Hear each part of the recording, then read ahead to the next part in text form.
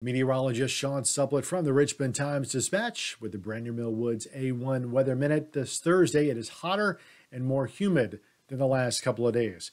The afternoon temperatures largely the mid, if not upper 90s, and with a little more humid, that combination of heat, humidity, make it feel more like 102, 103 during the hottest part of the day. And we don't see a good chance of a shower or thunder shower returning either. The middle part of the atmosphere looks like it's going to be just too dry to support that.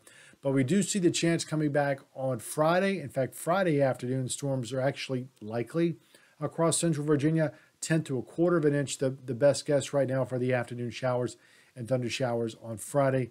Locally higher amounts going northward from Richmond toward Ashland, heading up toward Caroline County, and ultimately toward Fredericksburg.